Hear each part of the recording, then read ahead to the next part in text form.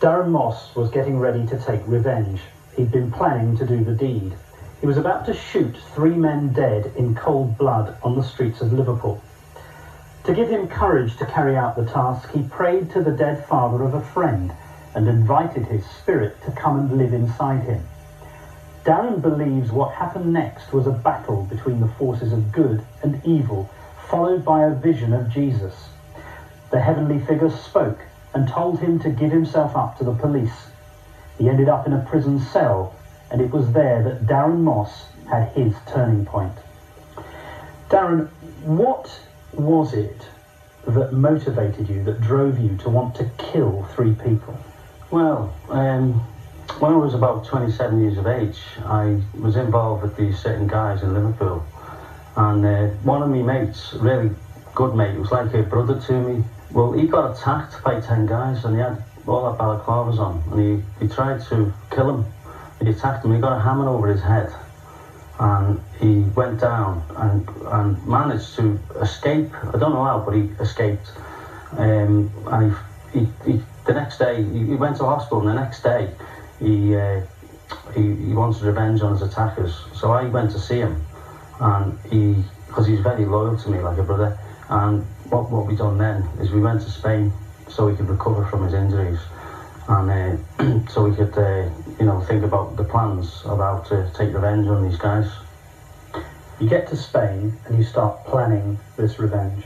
What happens next? Well, uh, we're just enjoying ourselves at first, to, just to get away from it all. And then, about three nights after being there, we heard news that one of his attackers had been shot um, friend. This um, sounds like a violent environment? What sort of gang culture was it? Um, it was, we were just, we, we were dormant and we were out for ourselves, living for ourselves. Our life was going out partying, going out with different women, and that was that was our life. Um, and that's all we wanted to do really. But wasn't violence a part of that? It wasn't. It was when it needed to be used, but most of the time, um, in fact, all the time, I never recall one occasion where we where we attacked anybody. It was all, always in defence of other people wanting to stir up trouble with us, you know. You organised this plan for revenge, right? But do you ever carry it out? I, I never actually carried it out at that point. Uh, while I was in Spain, um, we had uh, we, we, when we heard the news that this guy had been shot, um, we, we said we won't go out that night, we'd stay in. And that's what we done. We, uh, we, we stayed in and there was five people in the house and we had an encounter with, with a spiritual force. Um, what do you mean?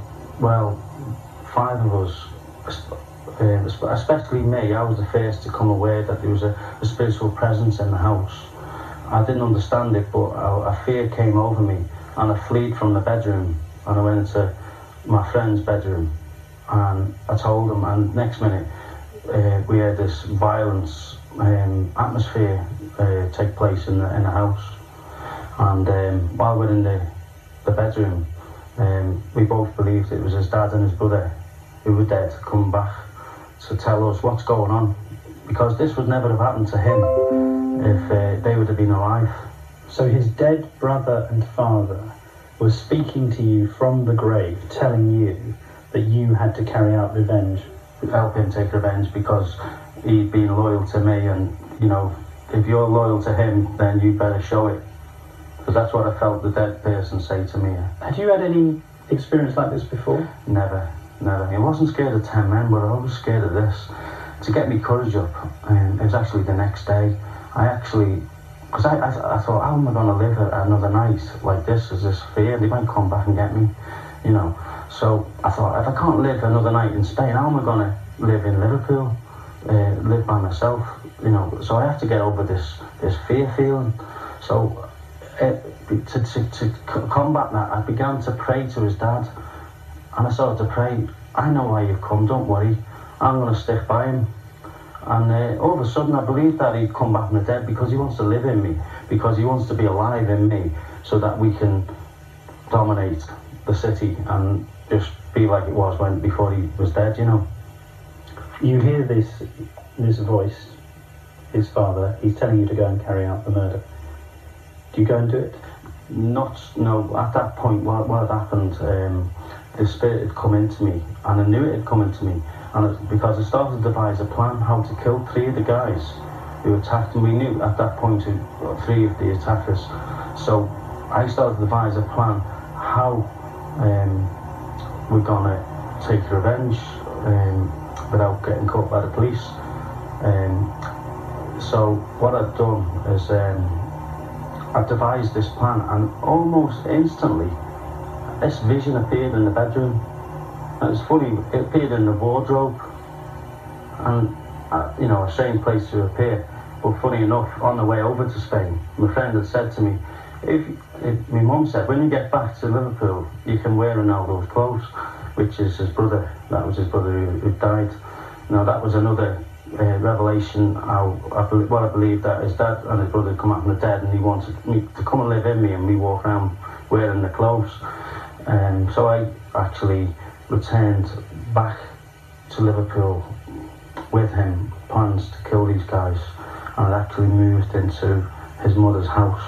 She was aware of spiritual forces. She believed that a, de- a dead son was alive, you know, even living in the house. So I actually moved into the, the dead son's bedroom, um, believing this is um, this is right, and you know, this is justice. Almost getting closer to him. Yeah, that's right. I felt, and then, but all of a sudden, I had this, um, this, this. I was reminded of something my school teacher had said to me when I was seven, and what it was, it was, it was a scripture out of the Bible, and it said, "The devil masquerades around as the angel of light," and at that point, I realised this vision of Jesus I saw was not Jesus, and it was not justice. I was being deceived, and I was being used. So I called on God. I knew He was the only way out for me, and I called out to God. And I promised Him I wouldn't do anything wrong ever again. Just please help me, deliver me from this evil. But you actually took some action yourself, didn't you? You handed yourself over. I, I was I was led to the police, um, and the police. Um, it, it was like as if a conviction came upon me. Everything in, me, in my house was stolen. I had my lecky on the fiddle. There was nothing about my life that was right.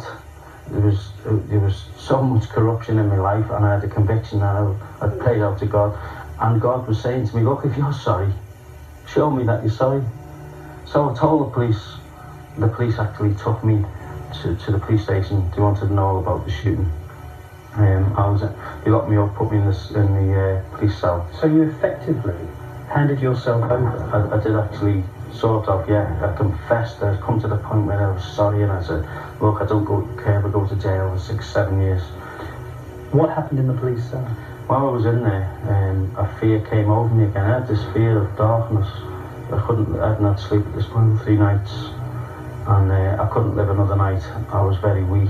I was being tormented in the mind, um, and I, I turned to God, and as I turned to God, this. Um, this uh, peace just came over me. I prayed to God saying, please help me. And this peace just overwhelmed me. And the word of God actually came to me. Just, oh, just clearly, God spoke to me. Clearly, God spoke to me. And I just, I was filled with joy because I met the Almighty God in this police cell. And I was crying with joy. And the police officer um, saw me and he asked me, would I like to see a doctor? Um, so uh, I shared with the doctor what I've, been sharing with yourself, and uh, they, they recommended that I went into a local psychiatric, psychiatric hospital. Um, so I agreed to go in there, and I felt that this is where God wanted me. It's interesting that the doctor referred you to a psychiatric hospital because some people hearing your story would say, well, actually, maybe you had some kind of psychiatric problem. What convinced you that the person that you were feeling and listening to was God? Why did you believe that? Um, because what he had said to me, he'd said said to me something which was so clear in my mind, which was like, um, which gave me hope and security. and love. Um, and it was like a, God putting his arms around me and saying, look, this is what I'm going to do for you. Just listen to me. And he said to me, I'm your father. And it was like God speaking to me, saying, look, you, you're possessed by this spirit and you need to be, this is what you've got to do. So I began to seek God. And after three days in the psychiatric ward, um, I felt the evil spirit let leave me. And I felt like a newborn baby. They diagnosed me as a schizophrenic before I went in there. After 10 days, I felt totally free. I left the psychiatric ward. After 30 days, the conclusion of the matter um, on the doctor's report was face to face to me that my belief had made me well.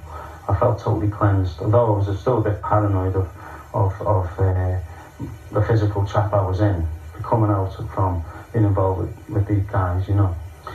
You went through that experience. What happened and what has happened to your life since then? It's, it's, it's just amazing. Shortly after coming out the psychiatric ward, I discovered that um, Jesus had gave his life for me. I had a revelation that Jesus Christ had gave his life for me. So I gave my life back to Jesus Christ. And I've been following Jesus Christ for the last um, seven years now. As a Christian? As a Christian. And he's, um, he's really given me hope and he's given me joy and he's put my life in order. Are you still in a gang? I'm not in a gang. I turned away. I almost instantly separated myself from the guys I was involved in. Involvement in violence? Never in violence. Um, I've totally, slowly come free from it all, and now I'm um, I'm a co-director of a of a construction business in Liverpool, um, which in a way is like my heart's always been my heart's desire to be successful in business, and it's it's like as if God, the Almighty God, is doing this for me, you know. If you hadn't had that experience, right do you think you would have been responsible for murdering three people? I really do. I, I, one of the things that I do on once a month, I go into Ashworth Hospital um, with a church, and we take the service in Ashworth Hospital. And um, I really believe with all my heart, if I would have committed them murders, and I would have told the story to the police, I would have got caught in the end. And um, they would have referred me to the doctor, and they would have I would have been in a high security mental hospital for the rest of my life, or you know, for a long time. Um, so part of my ministry as a Christian now is to go into Ashworth Hospital, and I actually went in there one time and shared my story, and three guys came to me afterwards and said that happened to me. The only difference is they went and killed someone. Well, Darren, thank you very, very much indeed.